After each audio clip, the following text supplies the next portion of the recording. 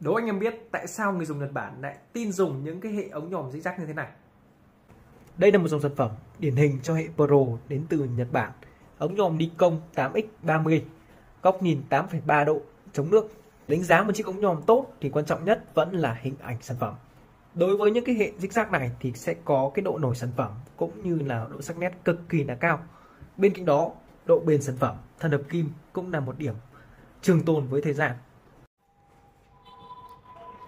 Nói có sách mách có trứng thì đây là hình ảnh test thực tế sản phẩm Nikon 8X30 là C chống nước cho quý anh em. Siêu sắc nét, độ nổi sản phẩm cực kỳ là cao.